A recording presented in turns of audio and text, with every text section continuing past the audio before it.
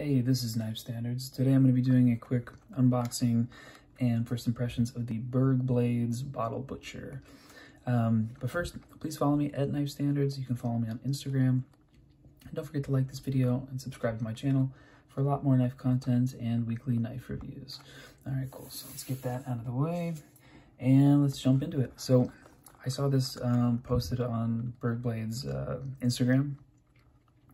I thought it looked really cool kind of a tiny little, uh, you know, keychain, you know, box, uh, box opener, package opener, uh, blade, and, um, and a bottle opener. So pretty plain, kind of cheapy white cardboard box, which is fine. I, you know, this is like, I think this was 40 bucks, so, somewhere around there. Um, and there's a disclaimer. Okay.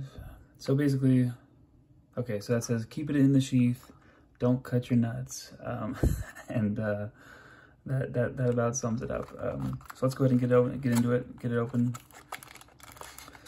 All right, so that looks like the knife. And we have the tiniest, cutest little Kydex sheath I've ever seen. That's pretty awesome. And let's see what the knife, wow, this is so small. Oh my God, okay. So this is a lot smaller than I thought it would be, but you know, I'm not, I'm not disappointed. This is, it is a keychain knife. Um, it's, looks like it's like black, black washed. Yeah.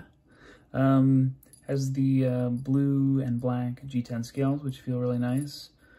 Of course, you got the keychain, uh, you know, the key ring and Berg Blades logo. This is, I think this is 440C steel. So budget steel for a keychain knife. We got the Kydex sheath. And you can see you got the, see this is, yeah, it's okay, fairly sharp. Um, this should, this will, I don't even know how to hold this thing.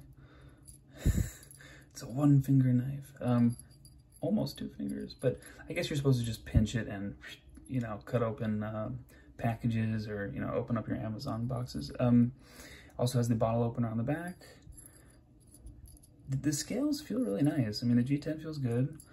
All right, so let's see. So this should go in just like that. Okay, so that's pretty cool. Um, you can open bottles with the bottle opener while it's still in the Kydex sheath, which I think is great. And then when you want to use the blade or open it up, pretty, pretty uh, easy to take the knife out and nice snug uh, retention.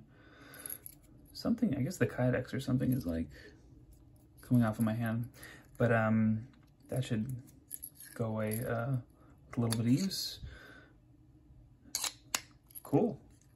Well, I'm, I'm into it. I think this is really useful. Now, I'll definitely um, report back in my full review because um, I'm, I'm a little concerned that this might come out. It's good retention, but if it's on my keychain, I don't know. My keys and my keychain and my key bar get uh, pretty beat up, so hopefully this thing stays on there. Um, it's so tiny, but very cool. Um, so I'll go ahead and uh, report back in my full review, carry this for a few days, see how it goes.